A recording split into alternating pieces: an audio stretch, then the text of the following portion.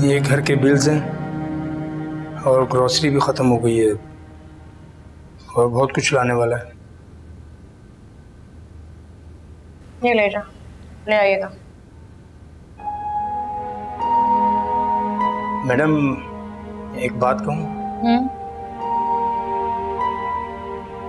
मैं इस घर का मुलाजिम ही नहीं। दानियाल साहब का हमदर्द दोस्त और हमराज भी हूँ।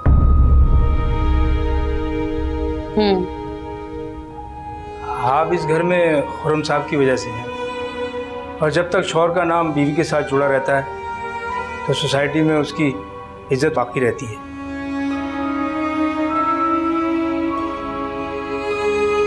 चाहे शौहर बेवफा हो बीवी को धोखा दे दूसरी बीवी ले आए उस पर जुल्म करे।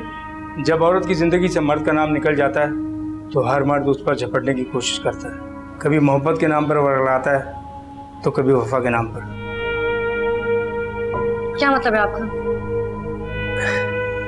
आप खुरम साहब को घर आने की इजाज़त दे दें। हरगिज नहीं। तब तक नहीं जब तक वो अपनी दूसरी बीवी नताशा को नहीं छोड़ देता। मैडम आप इन हालात को नरमी और तहमुल से सुलझाएँ। जिद छोड़ दें। खुरम क्यों नहीं जिद छोड़ता आपने? मैं उन्हें समझाने की कोशिश करूँगा।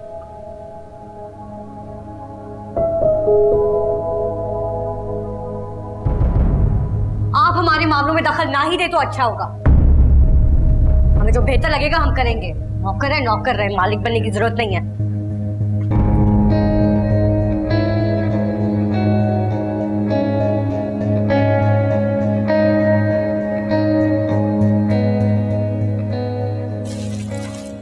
ये लो नताशा मेडिसिन देख लो कोई मिसिंग तो नहीं। सुबह से शाम तक तुम ये मेडिसिन मेरे लिए लेकर आए। और तुम्हें पता है कि मैं भूखी हूँ मैंने कुछ खाया भी नहीं हुआ। सीरियसली ताशा।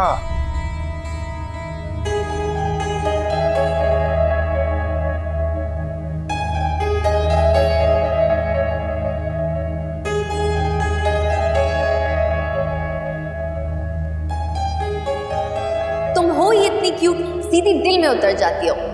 किसी को भी मोहब्बत हो सकती है। बस खुरम के दिल में ना उतर सकते लानत भेजो उस पर। अगर वो अपनी ज़िंदगी एंजॉय कर रहा है तो तुम भी करो। खुशी का जो मौका मिले उसे लूज मत करो। जो मोहब्बत देता है उसकी मोहब्बत को एक्सेप्ट करो। और जो मोहब्बत नहीं देना चाहता उसकी परवाह मत करो।